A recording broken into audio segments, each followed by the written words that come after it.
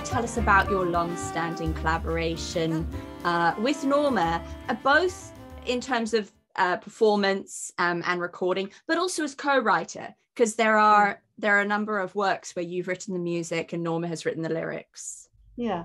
Well, Norma was. I mean, I was 18, no, 17 when I met Norma on a jazz course, and uh, she was at that time she'd just recorded all the Azimuth, uh, some of the Azimuth records with Kenny Wheeler and John Taylor, and again she was a heroine. You know, I mean, I just loved her. She had a she has a way of being gosh, the light. It's really bad here. There's like sun coming in. Do you want me to uh, shut the curtain? No, no, no, no, no. Sure. Don't worry. Yeah, you no, look no. radiant, angelic. Oh no.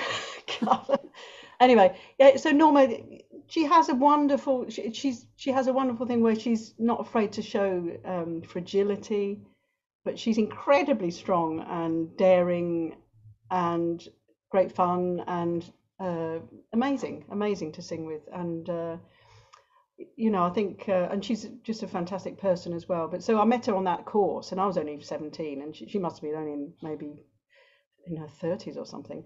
But over the years, you know, it's, I always say to my students, dream of playing with somebody, you know, dream, dream high. I mean, obviously it doesn't happen sometimes, but you know, when you're kind of listening to all of their music um, and you're learning the tunes they they've learnt, again, an opportunity came up. It was a women's uh, jazz festival. We said we don't want all women on the. we said can we have a mixed band because we didn't know a, a, a, drummer or bass player that played Kenny's music, you know. So we had to get the right people for the job.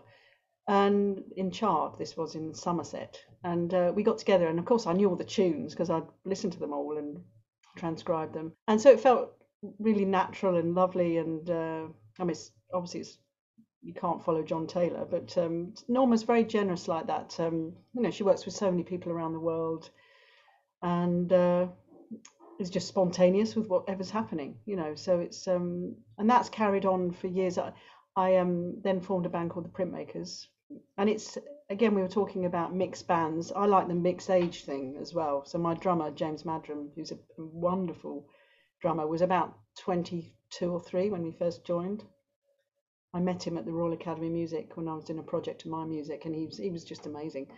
So he was in it, and then Norma was in her seventies then, um, and then the, the, three of us in the um, um, amazing guitarist Mike Walker, same age as me, who I'd grown up with, and Mark Lockheart, a wonderful um, saxophone player, and Steve Watts, who played with Django Bates.